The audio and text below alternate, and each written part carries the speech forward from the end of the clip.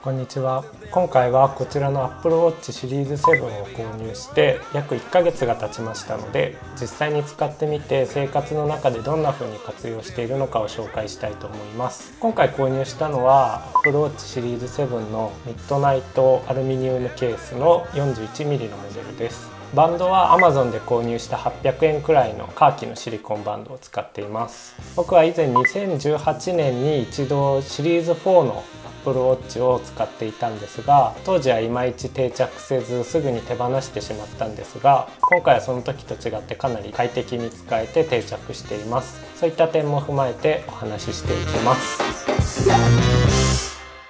まず以前シリーズ4を使っていた時は外出時のみ Apple Watch をつける生活をしていました。実はここに定着しなかった理由があるのではないかと思っています。今このシリーズ7はお風呂の時以外就寝時も常につけて生活しています。常につけていることで生活に役立つことが多く見えてくるようになりました。シリーズ4の時はバッテリー持ちや充電速度に不安があったのでそのような使い方はしていなかったのですが今回のシリーズ7から急速充電に対応したことで常時装着する運用がしやすくなりました。バッテリー重視で常時点灯オフで使用しているのですが夜お風呂入る前に充電してお風呂から上がって少し落ち着いたら装着しています。この間だいたい30分前後ですがこれでほぼ満充電されています。翌日お風呂に入る前に外す時でだいたい50%から60%ぐらい残っている状態です。この運用方法なら常時点灯オンでも問題なく使用できますが仕事で帰りが遅い時や充電忘れがあっても2日運用できるよう余裕を持たせているため常時点灯オフで使っています。では常に装着していると生活にどのように役立っているかというところを紹介していきます。まず Apple Watch の目玉機能に通知を確認できるという機能がありますが外出時は iPhone をポケットに入れているのでもともと通知はほとんどバイブレーションで気づくことができていました。もちろん Apple Watch の方が気づきやすいですしスマホを取り出さなくてもさっと通知を確認できるということはとても素晴らしいのですが以前シリーズ4を使っていた時はすぐスマホを見る癖もあったので通知機能にそこまでメリットを感じていませんでした。しかし自宅でも Apple Watch をつけていることでで iPhone をデスクの充電スタンドに置いたままでそばにいなくても通知が確認できるようになりました。僕はフリーランスなので仕事柄24時間いつ仕事の連絡が来るか分かりませんしなるべく早く返事をした方が良い場面も多くあります。そういった時も Apple Watch を装着していることでリビングにいる時も食卓にいる時も洗面所にいる時も通知に気づくことができてすぐに対応が必要かどうかチェックできるようになりました。Apple Watch ではなく iPhone を常に持ち歩いていると通知のチェックのついでに SNS を見たりブラウジングしたり時間を潰してしまっていたのでそういったことも軽減できます。また今回僕の奥さんも Apple Watch を一緒に購入したんですが奥さんは通知に気づかないタイプの人間でして LINE で連絡しても返事が返ってこないことがほとんどでした。コンビニで食べ物を買う時も何がいいか電話してもなかなか気づかずお店で待ちぼうけということもよくありました。これが Apple Watch を装着するようになってすぐ気づいてもらえるようになりました。ショッピングセンターで別々の場所で買い物をしている時も今どこにいるかという連絡もすぐに気づいてくれるようになり合流がスムーズになりました。また LINE のトークは通知だけではなく Apple Watch 単体でも自分が設定した定型文で文章を送ることができるので夫婦間でよく使う業務連絡を登録しておくとより効率的になります。次に常に装着していて便利な機能としてリマインダーがあります。連絡事項ややらなきゃいけないことを日時指定でリマインドしていますが盤面にリマインダーを表示させることによって今日やるべきリマインダーを表示してくれます。iPhone や Mac と違ってアプリをタップすることなくよく目に入るところに表示されているので忘れにくいです。次にタイマーやアラーム機能がとても便利です。タイマーは料理で時間を計りたい時やちょっとした昼寝などに活用しています。朝の目覚ましについては別のアプリを使っているので後ほど説明します。アラームは主に外出の用事がある時に家を出る時間にセットすることで時間を忘れないようにしています。iPhone のタイマーでもいいんですがこれもまた通知と一緒で iPhone を持ってない場面でも Apple Watch であればどんな時でもさっとタイマーをセットすることができます。また Apple Watch は基本的に音は鳴らないバイブレーションのみのモードで使用しているのですがこのタイマーやアラームも音が鳴らずにバイブレーションのみで知らせてくれます。これがとても快適で iPhone のタイマーやアラームの音って結構びっくりするじゃないですか。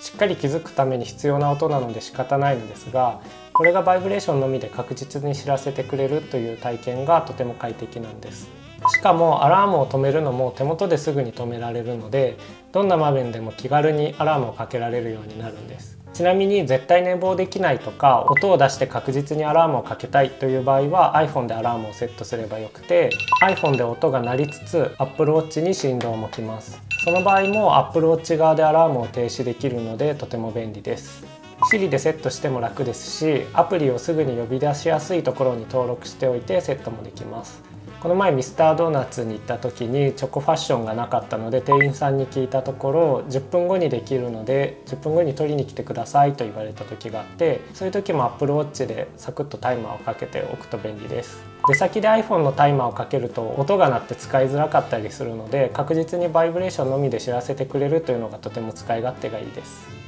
次に目覚ましについてです。先ほどのアラーム機能で目覚ましを使ってもいいのですが僕はオートスリープというアプリを使っています。有料のアプリですが多くの方がおすすめしている有名な睡眠管理アプリです。睡眠ログを取って自分の睡眠時間や睡眠の質を記録してくれますが個人的にはスマートアラームという機能のために使っています。これは曜日ごとにセッティングした時間にブブッと振動で起こしてくれる機能なのですが設定した時間から約30分前までの間で自分の睡眠が浅い時を狙って振動で起こしてくれます。そのため不快にならずすっきりとした目覚めができます。しかも起きるまで定期的に振動で知らせてくれて起きなくてはいけない設定した時間になったら自分で停止を押すまで振動し続けてくれます。先ほどのアラームの話でも出ましたが音が鳴らずに振動だけで起こしてくれるというのが本当に不快感がないのでおすすめです。シリコン系のスポーツバンドであれば装着感も軽いので睡眠中に装着していても特に気になりません。こういう使い方をするという点では軽量のアルミモデルの方がおすすめかもしれません。こういったアラームやタイマー機能を自宅でもふんだんに使うことで外出前もギリギリまで別の作業をしていられたり昼寝もサクッと短時間取ることができたりとアップローチを常につけていることで定着した理由の大きな一つです。次にロック解除機能についてです。Apple Watch は半分このために買ったと言っても過言ではありません。今僕は iPhone 12 mini を使っていますが iPhone X 以降 Face ID ですよね。指紋認証と違って出先でマスクを使用していると常にパスコードを打ってロック解除しています。それがこの Apple Watch をつけているとマスクを装着していてもロックが解除できるようになります。便利だろうなこの機能と思っていましたが本当に便利です。というか今までが不便すぎました。それでも個人的には指紋認証派ですがとりあえず日常使いにおいて Face ID の不便さが軽減されました。ちなみに iPhone のロック解除のみでしか使えずアプリ内のロック解除には無効です。また Mac でもパスコードを入れずにロック解除が可能です。Mac の場合アプリ内でのパスコード入力時にも Apple Watch のサイドボタンをダブルクリックすることでロック解除できる場面があります。この辺りは Apple 製品でまとめていると非常に便利ですね。次に Apple Pay についてです。これはシリーズ4の時からとても便利に感じていました。僕は主に Suica と QuickPay を使っています。Suica は iPhone を取り出すことなくかざせるのでスムーズです。Suica は iPhone でもエキスプレスカードに登録しておくことでロック解除不要で使用できますが QuickPay は iPhone で使用する際 Face ID もしくはパスコードにてロック解除が必須でした。それが Apple Watch だと支払い時サイドボタンをダブルクリックすることで特に認証なく支払いができるので煩わしさがなくなって快適になります。次に天気の表示についてです。僕は盤面に気温と降水確率を表示しています。着替える時にさっと今の気温や最低気温最高気温を確認できるので服をスムーズに選ぶことができます。これも自宅で常に装着していることで便利になったことの一つです。次に乗り換えアプリについてです。僕は Yahoo 乗り換え案内を使っているのですが iPhone のアプリ側でアラームをセットすることで乗り換えの1分前に知らせてくれる機能があります。これは iPhone のみでもこの機能があるのですが iPhone がスリープ状態でポケットやカバンにしまっている状態でも Apple Watch に振動で知らせてくれるので乗り過ごしや寝過ごし防止になります。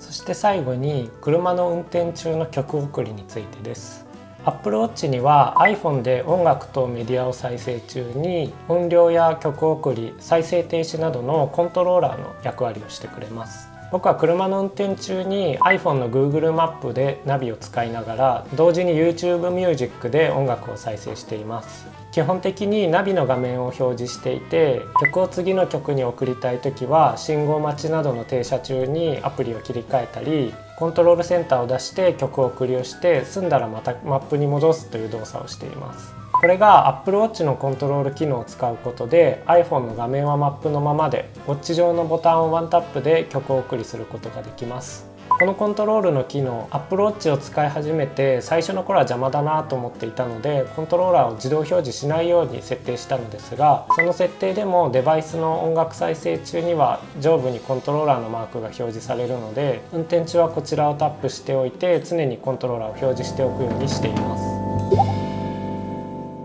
はい、ということで他にも使っている機能はありますが普段頻繁に使っている機能を紹介させていただきました。iPhone でもできる機能がほとんどなのですが Apple Watch を常につけていることで全ての質がアップグレードする感覚になります。在宅ワークも増えた。今こそ自宅でも常につけることにより一層便利なものになりました。Apple Watch の導入を悩んでいる方は是非参考にしていただければと思います。それではまた。